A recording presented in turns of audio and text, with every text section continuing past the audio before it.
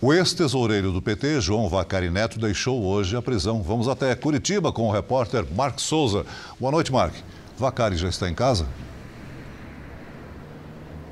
Oi Celso, boa noite. Já está. Vacari vai morar com um tio aqui mesmo em Curitiba e trabalhar como auxiliar administrativo na sede da Central Única dos Trabalhadores. A partir de agora, Vacari será monitorado por uma tornozeleira eletrônica. Ele colocou o equipamento no fim da tarde aqui na sede da Justiça Federal do Paraná. O ex-tesoureiro do PT estava preso havia quatro anos. Como teve parte da pena extinta, Vacari foi autorizado a cumprir os últimos quatro anos e meio da sentença no regime semiaberto aberto. Ele responde a cinco processos na Lava Jato.